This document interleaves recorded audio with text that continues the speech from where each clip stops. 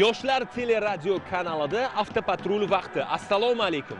Bugun toshkent shahar ichki ishlar bosh boshqarmasi yo'l harakati xavfsizligi boshqarmasi xodimlari bilan hamkorlikka kirishgan ijodiy guruhimiz xodimlari sizlarga talay ma'lumotlarni tayyorlab qo'ygan. Buni keyindagi 40 daqiqa davomida faqat yoshlar telekanalidan uzoqlashmasangiz bilib olish imkoniga egasiz. Demak biz namoyishni boshladik. Tirikchilik ba'zan toshdan qattiq bo'ladi. Ammo halol mehnat peshona teri ana shu toshni ham maydalab tashlaydi. Afsuski oramizda halol luqmani haromga aylantirishni mehnat qilmay boylik topishni orzu qiladiganlar uchrab turadi. Toshkent viloyati ichki ishlar bosh boshqarmasi yo'l harakati xavfsizligi boshqarmasiga qarashli chinor muntazam yo'l patrul xizmati maskani qamchiq dovonining boshlanish qismida joylashgan va u hamisha transport vositalari bilan gavjum ana shu serqatnov jarayon zamirida inspektorlar yuzlab transport vositalari va ularning yo'lovchilarini nazorat qilishadi. Lozim topilgan vaqtda esa tekshirishadi kamchiliklar aniqlanadi. Avtomobil yukxonasidan davlat raqam belgisining topilishi xodimlarda shubha uyg'otdi. Yo'lda gaz quygani kirdim kirdim gazni quydim chiqdim bolalarni o'tkazib keldim. Postda gaz xodimlari posti. Orqa bagajni ochganda e, yuk moshina o'zimiz yuk mashinamizni ta'mirlatgani nomerini olib oldim orqa nomerini. Haligi nima to'gayotganda bu narsalar tegib raqamlar o'chib ketgan ekan. Shu qayta ta'mirga gaga bergani oluvdim. Haydovchining gapidan so'ng xodimlar avtomobilni va undagi yo'lovchilarni to'liq tekshirishni boshlashdi. Tekshiruv davomida yo'lovchilardan birining yonidan 1200 amerika qo'shma shtatlari dollari chiqdi. Dollarning ko'rinishi ularda shubha uyg'otdi va xodimlar tezlik bilan tezkor xodimlarga aloqaga chiqishdi. Tekshiruvlar oqibatida topilgan dollarlar qalbaki ekanligi ma'lum bo'ldi. Avtomobil yo'lovchilar va ulardan olingan ashyoviy dalillar bilan birgalikda ohangaron tumani ichki ishlar bo'limiga topshirildi.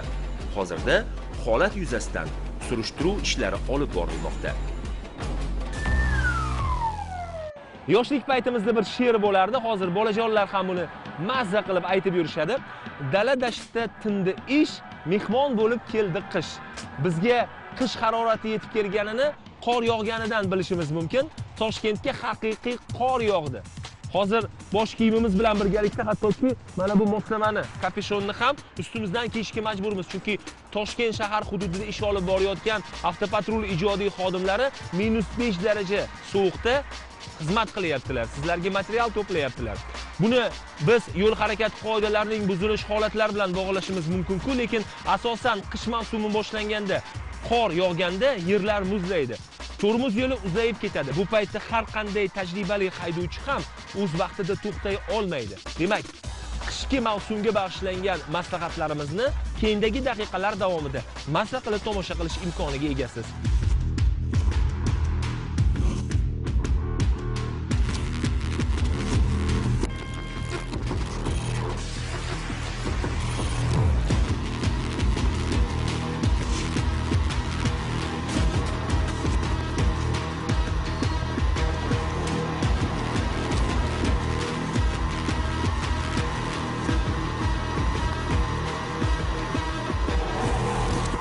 Toshkent shahar ichki ishlar bosh boshqarmasi yo'l harakati xavfsizligi boshqarmasini markaziy dispetcherlik navbatchilik qismidan kelgan xabarga ko'ra e, mirobod tumani e, fitrat ko'chasida sodir bo'lgan yo'l transport hodisasi voqea joyiga yetib keldik. E, bu yerda oq oltin ikkinchi tor ko'chalari kesishmasida spark va matiz rusumli transport vositalari ishtirokida yo'l transport hodisasi sodir bo'lgan. Ho'p siz buni svetofor qaysi chirog'ida o'tib kelyaptingiz yashil chiroqda yashil chirog'ida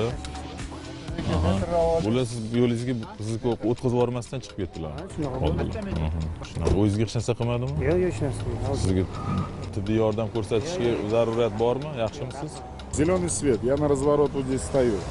Стоит Малибу здесь тоже вторая. Загорается желтый свет светофора, я зад смотрю, машины все останавливаются перед ну, уже Ага. готовятся на красный свет. Малибу трогается, разворачивается. Я разворачиваюсь. В этот момент за Малибу... Дорога чистая, за Малибу его не видно. Aha. Он меня в этот момент ударяет. hozir mas'ul inspektor xodimlar yo'l transport hodisasini tafsilotlarini o'rganib e, bu bo'yicha qo'shimcha surishtiruv ishlari olib borilib va ho- holatga yana aniqlik kiritiladi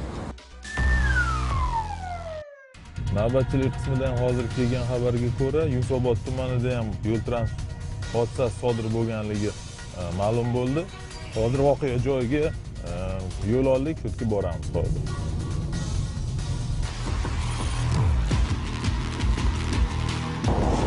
haydovchi ayol kishi. Hozir qanaqadir mashina chiqib qoldi.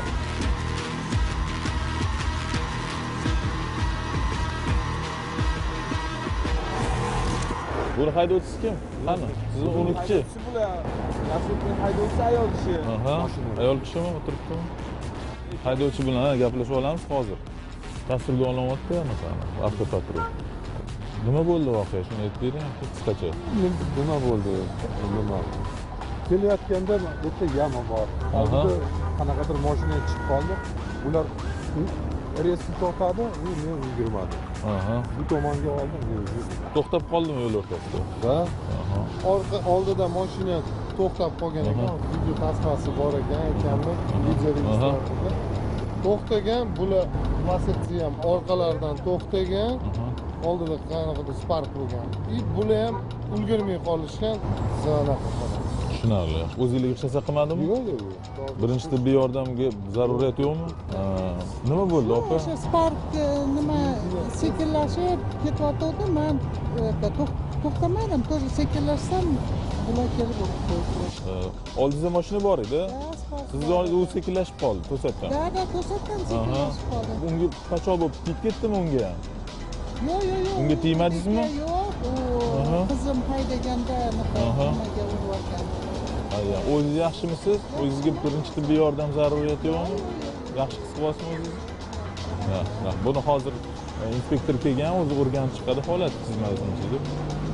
Keyin e, aniqlik aniqlik kiritiladi. Yunusobod tumanida e, Ahmad Donish ko'chasida Shohsaroy to'yxonasi qarshisida Cobalt va Lacetti rusumli transport vositalari ishtirokida yo'l transport hodisasi sodir bo'lgan. Cobalt rusumli transport vositasi Lacetti euh, rusumli transport vositasini orqa tarafidan kelib urilib to'qnashuv sodir bo'lgan. To'qnashuv natijasida tan jarohati olganlar yo'q. Э, haydovchilardan hozir э, suhbatlashdik. Э, ahvol yaxshi, birinchi tibbiy yordamga muhtoj emasliklarini ma'lum qilishdi. ko'chada harakatlanayotgan ikki shaxs piyoda va haydovchining qandaydir kimsa yoki narsaga chalg'ishi mas'uliyatni ozgina bo'shashtirishi oddiy ko'ringan yo'l belgilari chiziqlar ko'rsatmalarga amal qilmasligi yo'l transport hodisalarining umumiy sonlari oshishiga kundan kun ortishiga turtki beradi. Bu eng sodda sabablar. Yana tezlikni oshirish spirtli ichimlik iste'mol qilish yo'l harakati qoidalariga rioya etmay o'z xohishiga yarasha yo'l tutish afsuski o'sha xohishni mutlaqo yo'qqa chiqarib qo'ymoqda. Ahmad Donish Moyqo'rg'on ko'chalari chorrahalar kesishmasi chorrahasida Matiz rusumli va e, Nexia 3 rusumli transport vositalari ishtirokida to'qnashuv sodir bo'lgan. Bunda e, Ahmad Donish ko'chasida harakatlanib kelayotgan Matiz rusumli transport vositasi va Moyqo'rg'on ko'chasida harakatlanib kelayotgan Nexia 3 rusumli transport vositasi to'qnashib ketgan. E, to'qnashuv natijasida Matiz rusumli transport vositasini chap orqa tarafi shikastlangan. Nexia 3 transport vositasini chap old qismi e, shikastlangan. Bundan oldingi sodir bo'lgan yo'l transport hodisasida ikkita transport vositasi bir yo'nalishda harakatlanib kelayotgan bo'lsa, mazkur yo'l transport hodisasida esa e, ikki xil yo'nalishda harakatlanib kelayotgan transport vositalari ishtirokida yo'l transport hodisasi sodir bo'lgan. Bu transport siznikimi deb? Maniki. E, Nima bo'ldi voqea? Qanaqa bo'ldi, aka? Svetoforda man o'rtada turuvdim. Aha. Qo'zg'aldim. Anavi qizil yongandan keyin qo'zg'aldim. Chunki qizil u yoq bilan bu yoqni to'xtatadi. Mana ham o'rtasida turib turibdi, mana ham mashina. Siz hozir bu yoqdan kelyotgandingiz. Mana bundoq kelib burilib to'xtadi. Ha, ha, turib to'xtadi. Ha, tushunarli. Man svetoforga qarab turdim. Qizil yondi, u yoqda to'xtadi, menga yo'l ochildi. Qo'zg'aldim.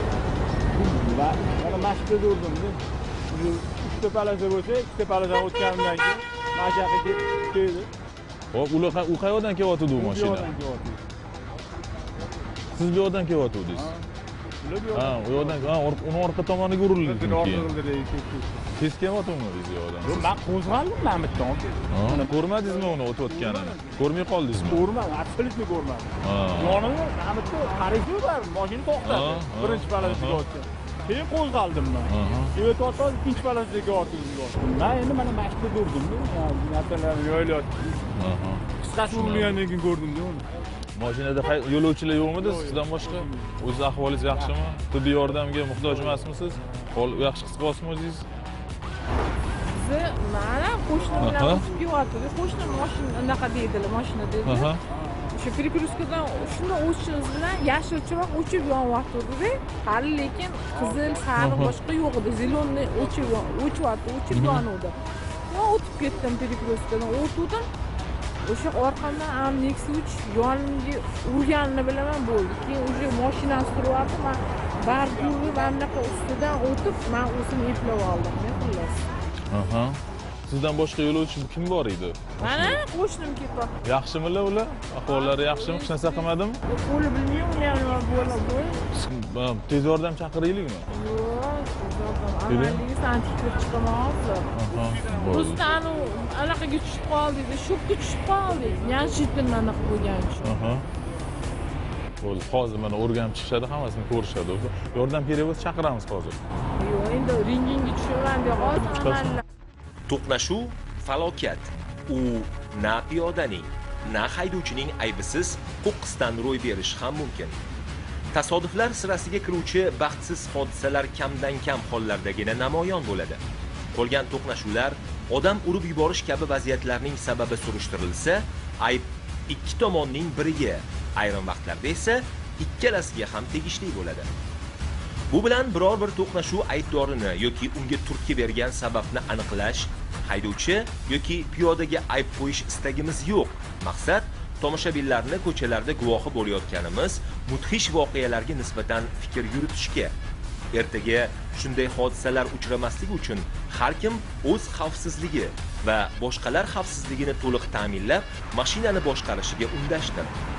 Ota-onalar yosh go'daklarini, balog'at yoshiga yetmagan farzandlarini qarovsiz qoldirmasliklari, piyodalar yo'lning faqat o'zlari uchun ajratilgan yo'lkalardan foydalanishlari, har kimning yo'l harakati qoidalariga amal qilib yurishi albatta foyda keltiradi. Birinchi sinfda tahsil olayotgan o'quvchiga o'qitiriladigan bu jumlalar hayotimiz davomida deyarli har kuni bizni ogohlantirib turadi. Uning yo'rig'iga yurmaganlar esa nima bo'lishi o'zingizga ayon. Harakatlanish xavfsizligini ta'minlash juda ko'p narsalarga bog'liq. Bu o'rinda haydovchining mahorati-yu transport vositasining texnik holatigacha katta ahamiyatga ega. Ayniqsa qishli, qirovli kunlarda bu juda ham muhim. Respublikamiz hududida ob-havoning keskin o'zgarishi, qor yog'ishi va avtomobil yo'llarida muzlamalar hosil bo'lishi, havo haroratining keskin sovib ketishi anchagina tajribali haydovchilarni ham shoshirib qo'yishi turgan gap. Ayniqsa kunduz kuni qor va suvning erishidan hosil bo'lgan ko'lmaklar tungi vaqtda qayta muzlab, sirpanchiq hosil qilishi mumkinligini unutmaslik zarur. Shuni inobatga olgan holda Toshkent viloyati ichki ishlar boshqarmasi, yo'l harakati xavfsizligi boshqarmasi xodimlari tog'li hududlarda harakatlanayotgan haydovchilarni to'xtatib, ular bilan profilaktik suhbatlar o'tkazishmoqda. Toshkent viloyatining Bo'stonliq va Parkent tumanlari tog'li hududlar hisoblanib, respublikamiz hududida qor yog'ishi munosabati bilan ushbu tog'li hududlarga dam olish maqsadida respublikaning barcha e, hududlaridan dam oluvchilar kelmoqda. Ushbu munosabat bilan Toshkent viloyati yo'l harakati xavfsizligi boshqarmasi Bo'stonliq tumanining Shimyon va Amirsoy dam olish zonalarida yo'l patrul xizmati inspektorlaridan iborat guruh tashkil etilib, ushbu joyda tirbandlik va Э, transport vositalarining xavfsiz harakatlanish bo'yicha bir qator ishlar amalga oshirilmoqda. Bundan tashqari, ob-havo sharoiti yomonlashgan vaqtda yo'llarda muzlamalar hosil bo'ladi. Ushbu vaqtda fuqarolarimiz yo'llarda ehtiyot bo'lib harakatlanishini va tezlikni oshirmasdan, hushyorlikni oshirgan holatda yo'llarda harakatlanishini so'rab qolar edik. Ha, har qanday haydovchi transport vositasini boshqarish paytida murakkab ob-havo sharoitini hisobga olishi zarurat bo'lmaganda tungi vaqtlarda harakatlanmasligi kerak. Bunday vaqtlarda ayniqsa belgilangan tezlik talablariga qat'iy amal qilish piyodalardan yo'lni kesib o'tishda o'ta hushyor bo'lish kattalarning esa yo'llarda bolalarning harakatini nazoratga olishi ham juda muhimdir. Yo'l harakati xavfsizligi boshqarmasi xodimlari davom yo'llarida harakatlanayotgan haydovchilardan yanada hushyor harakatlanishni dovonga chiqishda yetarlicha miqdorda yonilg'i zaxirasiga ega bo'lishni isitish tizimi oyna tozalagichlari nosoz bo'lgan yaroqsiz shinalar o'rnatilgan transport vositalaridan foydalanmasliklarini eslatib ularga harakatlanish xavfsizligiga oid tegishli ko'rsatmalarni berishmoqda. Tog'li yo'llar haydovchilar va transport vositalari uchun eng zo'r sinov maydoni desak mubolag'a bo'lmasa kerak. Chunki bunday yo'llarda harakatlanishning o'ziga xos mashaqqatlari qiyinchiliklari murakkabliklari bor. Bu narsa qor yog'ib yo'llar oq libosga burganganida yanada yaqqol ko'zga tashlanadi. Assalomu alaykum. Toshkent viloyati yo'l harakati xavfsizligi boshqarmasidan inspektor turg'unova. Hurmatli haydovchi man to'xtatgan sabab hozir bo'stonliq tumanimizda tog'li hududlarda qor yog'gan. Ko'p joylarda Э, hozir sizdan iltimos qiladigan yo'llarda ehtiyot bo'lishingizni keyin yo'l qoidalariga amal qilishingizni so'rayman. Chinor muntazam yo'l patrul xizmati maskani dovon yo'lida joylashgan. Maskanda xizmat olib borayotgan xodimlar bu yerdan o'tayotgan transport vositalarining haydovchilar bilan suhbatlar o'tkazib dovonda harakatlanish tartiblarini tushuntirib borishmoqda. Suhbat jarayonida alohida e'tibor yuk avtomobillariga qaratilmoqda chunki dovon yo'lidan tungi vaqtlarda yuk avtomobillari ko'p harakatlanishadi. Bu yo'ldan o'tadigan har qanday transport vositasi eng avvalo texnik soz bo'lishi lozim. Bunda ballonlarning holati ham istish moslamasi rul boshqaruvi va tormoz tizimiga alohida e'tibor zarur. Dovon tomon yo'lga otlanganlar shu narsalarni unutmasliklarini o'zlarining va o'zgalarning xavfsizligini ta'minlashga hissa qo'shishlari lozimligini yana bir karra eslatib o'tmoqchimiz. Shundagina tog'li yo'llar xatarsiz va ravon bo'ladi. Umuman olganda esa har bir haydovchi u qaysi yo'lda harakatlanishidan qat'iy nazar qishki mavsumga jiddiy tayyorgarlik ko'rishi yo'l harakati qoidalari talablarini so'zsiz bajarishi shart. Yo'l harakati xavfsizligini ta'minlash aynan mana shu narsalarga chambarchas bog'liq ekanligini unutmaylik. Qishli qirovli kunlarda haydovchilarning yurish turishi risoladagidek bo'lishi uchun yo'l patrul xizmati xodimlari albatta mas'ullar. 24 soat davomida yo'llarimizda nazorat ta'minlangan. Yo'l patrul xizmati inspektorlarining mashaqqatli mehnatlarini qadrlovchilar ham yetarlicha topiladi. E bu internetga ketdinglar-da bu sovuq ish deganinglar. suvni ishlab shuncha odamni o'zbekiston respublikasi xodimlariga rahmat toshkentdan keldi mana shu xizmat qilyapti oddiy kuni bola chaqasini bag'rida bilan ichib o'tiradigan joyi yo'q suvni ishlayapti baraka topsin. Bular mana shu yerda mazza qilib dam olib ketsanglar biza xursandmiz baraka topsin. Sog' bo'ling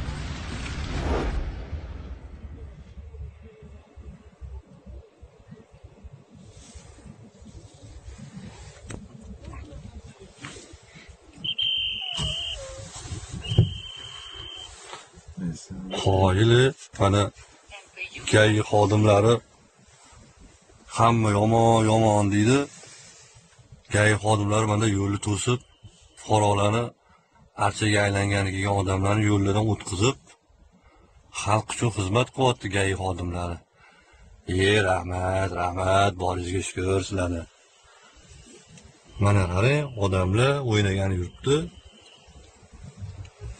Gai xodimi bu yerda turib mana xizmatini olib boryapti ekan. Rahmat.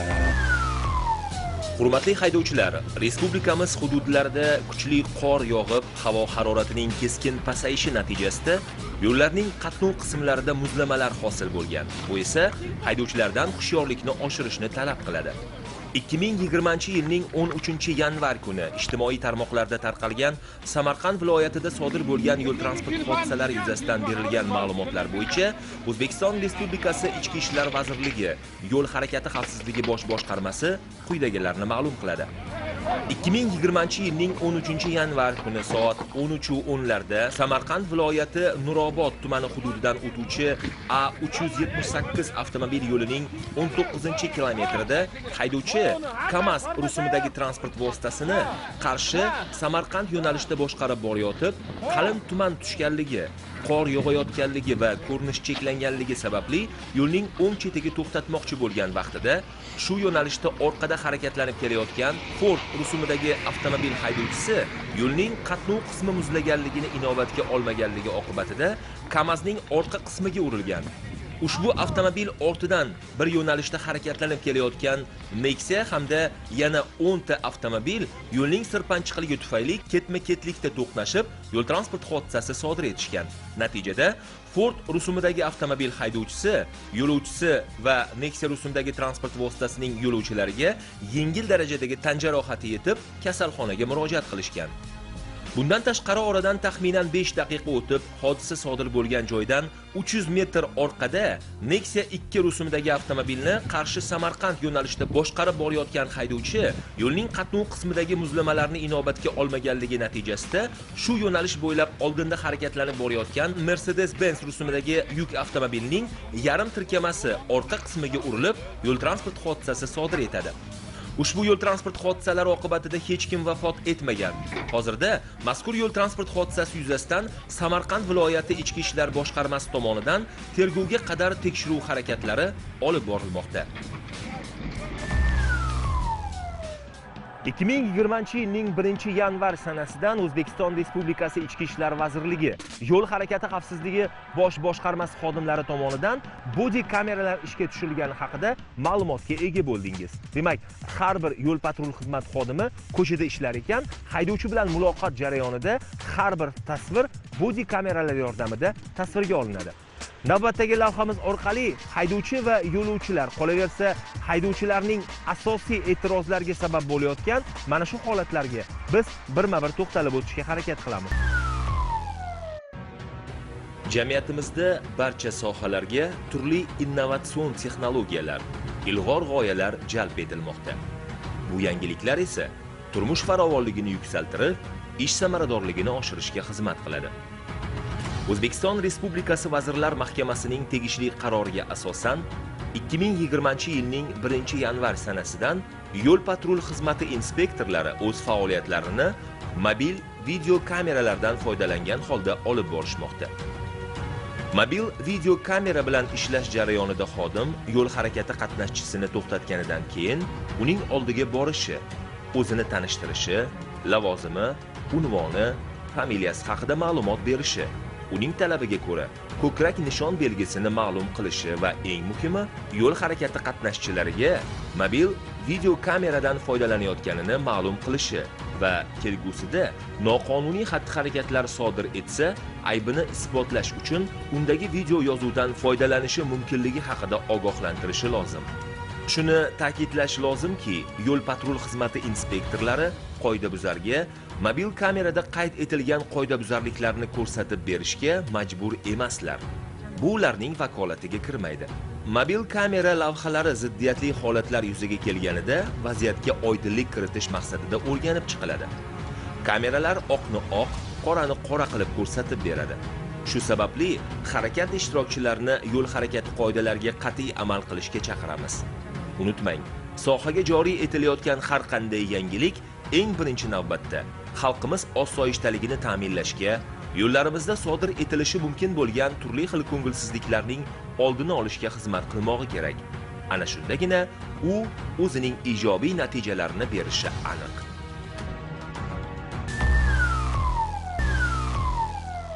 Ekraningizdagi tasvirlar yaqinda internet sahifalari orqali birma-bir namoyish etilib, ko'plab kommentlarga sabab bo'ldi. Voqea aslida qanday tus olgan edi? 2020 yilning 9-yanvar kuni soat 23:20 larda bunyodkor shoh ko'chasi xalqlar do'stligi saroyi qarshisida haydovchi 1985 yilda tug'ilgan.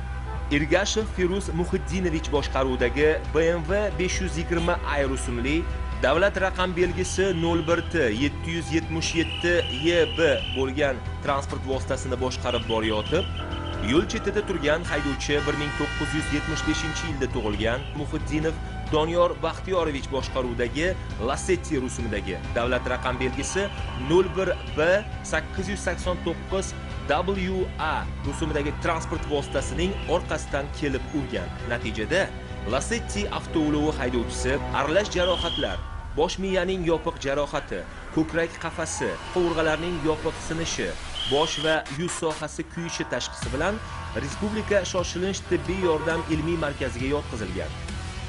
Lasetti avtoulovining yo'lovchisi 2013 yilda tug'ilgan muhiddinova diyora doniyor qiziga kombinatsion jarohat alangadan 25 foiz tanasi ikkinchi uchinchi darajali kuyishi ikkinchi darajali shok bosh miya yopiq jarohati tashxisi bilan respublika shoshilinch tibbiy yordam ilmiy markaziga yotqizilgan.